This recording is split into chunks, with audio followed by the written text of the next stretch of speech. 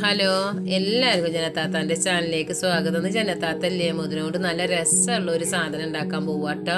നിങ്ങളെല്ലാവരും വീഡിയോ ഫുള്ളായി കാണണം. നിങ്ങളെല്ലാവർക്കും സുഖമാണെന്ന് കരുതുന്നു. ഞാനില്ലേ ഇത് മുതിര എടുത്തിട്ട് ഇരുന്നൂറ്റമ്പത് ഗ്രാം മുതിരയിട്ട് എടുത്തിക്കണത് അതൊരു പാത്രത്തേക്ക് മാറ്റിയിരിക്കുകയാണ്. ഞാൻ ഇതിൽ കല്ലൊക്കെ ഉണ്ടോയെന്ന് നല്ലൊന്ന് നോക്കണം നമ്മൾ പീടിയെന്ന് കൊണ്ടുമ്പോൾ മുതിരയിലൊക്കെ ഏകദേശം എപ്പോഴും കല്ലൊക്കെ ഇതിലധികം ഉണ്ടാവും. അപ്പം കല്ലൊക്കെ നോക്കിയിട്ട് ഞാനിത് ഒരു കുറച്ച് നേരം വെള്ളത്തിലിട്ട് കുതിർത്താൻ വെച്ചിരിക്കുകയാണ്. ഇനി ഇതൊന്ന് കുതിർന്ന് വരട്ടെ. പിന്നെ നമുക്ക് ഇതിൽ കല്ലിഞ്ഞ് ബാക്കിയുണ്ടെങ്കിൽ നമുക്ക് ഇതൊന്ന് അരിച്ചെടുത്താൽ കല്ല് വേഗം കിട്ടും കേട്ടോ അപ്പോൾ അങ്ങനെ ചെയ്യാച്ചിട്ടാണ് മുതരതാ ഞാൻ വെള്ളത്തിലിട്ട് വെച്ചിരിക്കുകയാണ്. ഇനി കുറച്ച് നേരം ഒന്ന് ഇത് കുതിരട്ടെ. ഇനി ആ മുതരൊക്കെ നല്ല വൃത്തിക്ക് കഴുകുക കേട്ടോ ഒന്ന്. നല്ല കഴുകി വൃത്തിയാക്കുകയാണ്. മുതലൊക്കെ അരിച്ച് കഴുകി വൃത്തിയാക്കി ഞാൻ ഇനി ഇത് കുക്കറിലേക്ക് ഒന്ന് ഇട്ടെടുക്കുകയാണ് അപ്പൊ ഞാൻ അതാ കുക്കറിക്ക് മുതരൊക്കെ ഇട്ട് കൊടുത്തേക്കണേ. ഞമ്മക്ക് അതിലേക്ക് ഒരു ഒന്നര ഗ്ലാസ് വെള്ളം ഒഴിച്ചെടുക്കുക ആവശ്യത്തിനുള്ള വെള്ളം ഒഴിക്കാട്ടോ. ഞാൻ കുറേ നേരം ഇത് വെള്ളത്തിലിട്ട് കുതിർത്തിയ കാരണം ഒന്നര ഗ്ലാസ് വെള്ളം ഒഴിച്ചു കൊടുത്തേക്കണത്. ഇതിപ്പോ ഒരു അഞ്ച് വിസിൽ വേഗം വേണ്ടി വരും കേട്ടോ ഞാൻ കുക്കറൊക്കെ അടുപ്പത്ത് വെച്ചിരിക്കണ. ഒരു അഞ്ച് വിസിൽ വന്ന് ഓഫാക്കാച്ചിട്ടാണ് ഈ മുതര വെള്ളത്തിട്ട് കുതിർത്തിയിട്ടില്ലെങ്കിൽ കുറച്ച് നേരം കൂടി വേവിക്കേണ്ടി വരും. അപ്പൊ കുതാ ഞാനില്ലേ ഇതിലേക്ക് ഒരു ലേശം ജീരകവും ഏലക്കയും ഒന്ന് പൊടിച്ചെടുക്കണം. അപ്പോൾ ഒറ്റയ്ക്ക് ഇട്ട വേണ്ട പൊടിഞ്ഞ് കിട്ടൂല. അപ്പോൾ ഒരു സ്പൂണ് പഞ്ചസാര ഇട്ടിട്ട് അതിലേക്കൊരു ലേശം ചെറിയ ജീരകം ഒരു രണ്ട് ഏലക്കായിട്ട് ഒന്നിട്ട് പൊടിച്ചെടുക്കാൻ വേണ്ടിയിട്ടാണ്.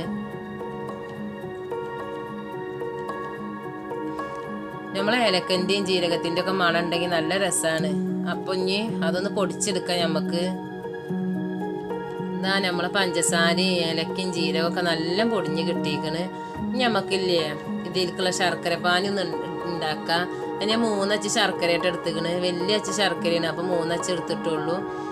മധുരത്തിനനുസരിച്ച് കൂട്ടും കുറക്കും ചെയ്യാട്ടോ മധുരം വേണ്ട അത്ര വേണ്ട എന്നുള്ള രണ്ടച്ചാക്കിയാൽ മതി. വേണമെന്നുണ്ടെങ്കിൽ നാലച്ചാക്കിയാൽ മതി. അങ്ങനെ നിങ്ങളുടെ ഇഷ്ടത്തിന് ഇത് ശർക്കര പാനി ഉണ്ടാക്കിയെടുക്കുക.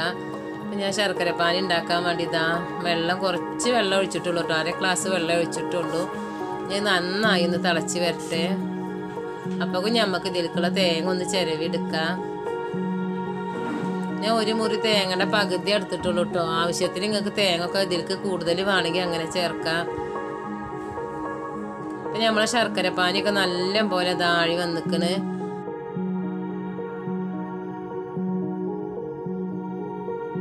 ഇതൊന്നും ഇവിടെ ഇരുന്ന് ചൂടാറട്ടെ. ചൂടോടെ പറഞ്ഞാലും കുഴപ്പമൊന്നുമില്ല കേട്ടോ ഞാൻ കുക്കർ തുറന്നിട്ടില്ല. അപ്പം ഇതാ നമ്മളെ തേങ്ങ ഒക്കെ ചിരവി വെച്ചിക്കണ്. ഇതാ കുക്കർ തുറക്കാൻ പോവാണ്. നമ്മളെ മുതിരൊക്കെ നല്ല പോലെ വന്നിക്കണ് കേട്ടോ ഇതാ മുതിരത്തെ വെള്ളമൊക്കെ വറ്റി നല്ല പാകം പോലെ നല്ല പോലെ വെന്ത് കെട്ടിക്കണു നമ്മളെ മുതിരൊക്കെ.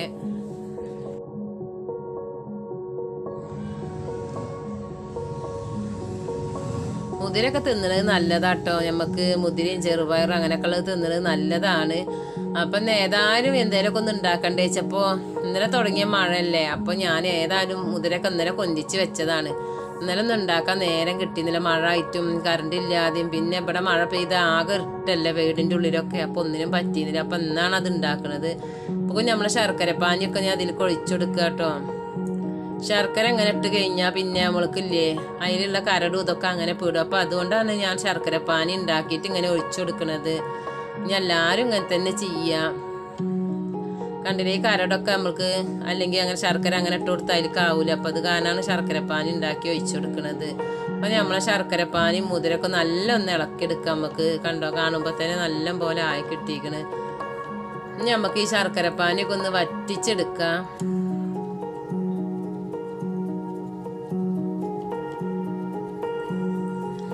ഇപ്പം ഇതാ ഏകദേശം നമ്മളെ ശർക്കര പാനിയൊക്കെ നല്ല ഒന്ന് വറ്റി വന്നിക്കണ്.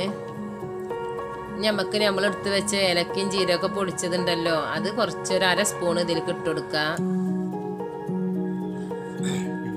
ഇനി നന്നായി ഒന്ന് ഇളക്കി എടുക്കാം. നമ്മളെ ഏലക്കയും ജീരകമൊക്കെ പൊടിച്ചത് നല്ല ഒന്ന് ഇളക്കിയിട്ട് എടുത്ത് കഴിഞ്ഞിട്ട് ഇതൊരു അഞ്ച് മിനിറ്റും കൂടി ശർക്കരപ്പാനി ശർക്കര പാനി ഒന്ന് വറ്റാണ്ട് അതിന്റെ വറ്റിക്കഴിഞ്ഞാൽ പിന്നെ നമ്മളെ മുതിരൊക്കെ നല്ല പോലെ ആയി കിട്ടുട്ടോ.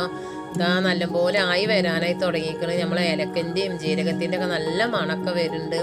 അപ്പോൾ നമ്മൾ ഇതാ അതിലേക്ക് എടുത്ത് വെച്ച് തേങ്ങ ഒന്ന് ഇട്ട് കൊടുക്കുകയാണ്. തേങ്ങ ഇതാ അങ്ങനെ ഇട്ട് കുറേശ്ശെ കുറേശ്ശെ ഇട്ട് കൊടുത്ത് നന്നായി ഒന്ന് ഇളക്കിയെടുക്കുക ഞാനിതാ തേങ്ങയും മുതിരൊക്കെ നല്ല പോലെ ഇളക്കിയെടുത്ത് നല്ല പോലെ ആയി വന്നിക്കണ് കേട്ടോ. നമ്മളെ ശർക്കരപ്പാനിയൊക്കെ വറ്റി അതിന്റെ പാകത്തിന് കിട്ടിയിക്കണ് എനിക്ക് തേങ്ങ ആവശ്യത്തിന് ചേർത്താൽ മതി കേട്ടോ കുറച്ച് മതിയെങ്കിൽ കുറച്ച്. കൂടുതൽ വേണമെങ്കിൽ കൂടുതൽ അങ്ങനെ എടുക്കാം. അപ്പം അതാ നന്നായി ബാക്കി തേങ്ങ കൂടി ഇട്ട് കൊടുത്ത് നന്നായി ഒന്ന് ഇളക്കി എടുക്കുകയാണ്